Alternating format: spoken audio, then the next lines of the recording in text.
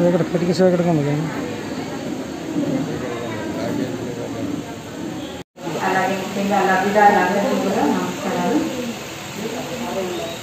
వైఎస్ఆర్ బేసిక్గా beneficiary identification సంవత్సరం అవి గడ్డి కొట్టి పెట్టుకొని గడ్డి లబ్ధి పొందానండి స్వయం కృషిగా బ్రతుకుతున్నామండి మా ఆయన నేను. మళ్ళీ ఇంటికి డెబ్బై ఐదు వేల లోన్ కూడా తీసుకొని అవి కిరాణా షాపు పెంచుకొని ఆ, పెద్దది చేసుకొని స్వయంగా బతుకుతున్నామండి చాలా సంతోషపడుతున్నామండి పేరు డబ్బులు వచ్చినందుకు ఆనందంగా ఉంది మాకు. అందరికీ ధన్యవాదాలండి.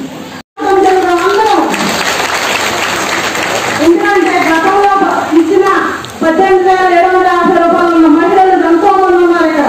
వాటి గురించి మీరు ఏం చేశారో నాకైతే తెలియదు కానీ ఇవాళ పదింటికి నా అకౌంట్లో పద్దెనిమిది వేల ఏడు వందల యాభై రూపాయలు పడినప్పుడు నాకు చాలా సంతోషం అనిపించింది.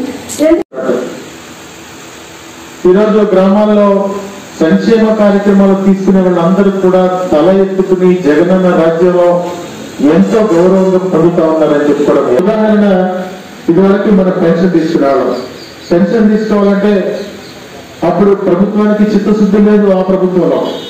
కానీ ఈ రోజున పెన్షన్ తీసుకునే అవ్వాతాతలందరూ కూడా వయసులో సంతోషంగా ఉండాలి అనే ఒక ఆలోచనతోటి మన ముఖ్యమంత్రి గారు ఒక వాలంటీర్ వ్యవస్థను ఏర్పాటు చేశారు. గ్రామంలో సచివాలయ వ్యవస్థను తీసుకొచ్చారు. ఏదో సచివాలయంలో బిల్డింగ్లు కట్టేసో లేకపోతే ఏదో సచివాలయాలు పెట్టామని చెప్పి ఆ విధంగా చేయలేదు. పదకొండు మంది ఉద్యోగ ప్రతి యాభై కుటుంబాలకు ఒక వాలంటీర్ని ఏర్పాటు చేశారు.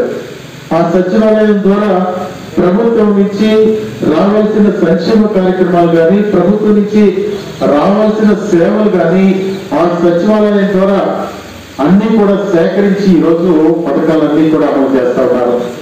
వాలంటీర్లు పొద్దున్నే ఆరు గంటలకు ఐదు తోట్లవల్లూరు మండలంలో ముప్పై తొమ్మిది మంది కిరాణా షాపులు పెట్టుకున్నారు. ఈ పద్దెనిమిది వేల పద్దెనిమిది వేల ఏడు వందల యాభై తోడుగా బ్యాంక్ లోన్ ఇస్తున్నాను మూడు సంవత్సరాలకి కూడా ముందుగా ఇచ్చేసి ఈ షాపులన్నీ కూడా ఎంకరేజ్ చేస్తున్నారు అదేవిధంగా పెదపాలపూడి మండలంలో ఇరవై ఆరు మంది ఈ షాప్స్ పెట్టుకున్నారు. పామర్ మండలంలో ముప్పై రెండు మంది పెట్టుకున్నారు. అదేవిధంగా కొమిడి ముక్కల మండలంలో నలభై ఒక్క మంది షాప్స్ పెట్టుకున్నారు.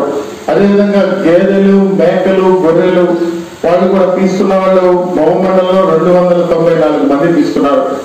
దాదాపు తోటలూరు మండలంలో యాభై ఆరు మంది.